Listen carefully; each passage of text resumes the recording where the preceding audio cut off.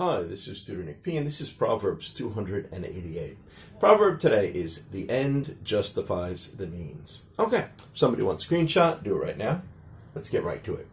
This proverb could also be rephrased as the ends justify the means. So it could also be said with ends with an S at the end too. Both are acceptable. Both are common. All right, let's continue.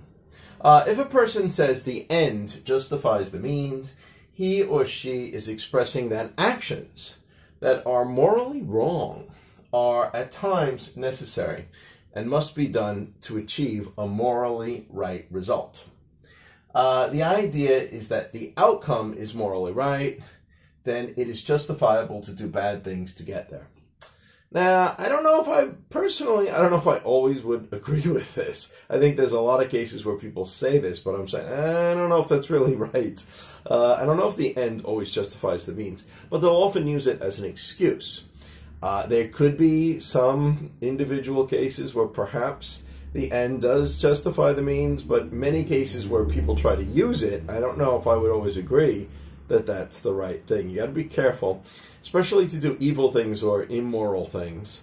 Uh, you better be careful. I know you want the, the result and you think this result is the right one at the end, but uh, you got to be careful how you get there. Anyway, let's continue.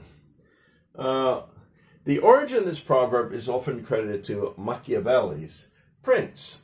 Uh, but ironically, he doesn't actually use this phrase or any wording very close to the phrase, but he does express this, this idea uh, in his writing. Okay, let's continue.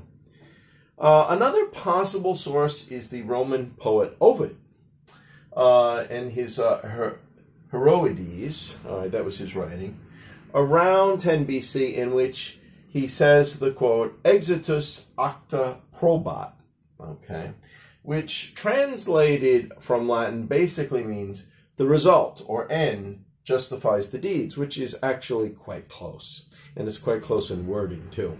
And that goes all the way back to BC.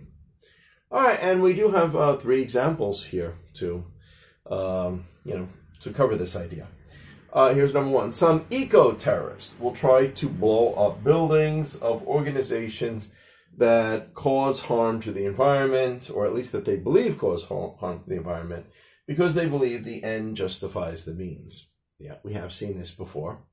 Number two, according to folklore, Robin Hood stole from the rich and gave to the poor because he believes the end justifies the means. This is probably one of the ones where a lot of people might agree with it. Back at that time, you know, uh, you know, with the king and all, it's almost impossible to fight against that power. And there probably was a lot of injustice. So, uh, at least, you know, the legend and, you know, the movies we see kind of cheer for Robin Hood in this sort of sense. Uh, like I said, there might be some exceptions to these rules, but you still, you still need to be very careful with this. Uh, number three here, even though what he is doing is wrong, he believes it is okay because the end justifies the means. So we do hear this a lot.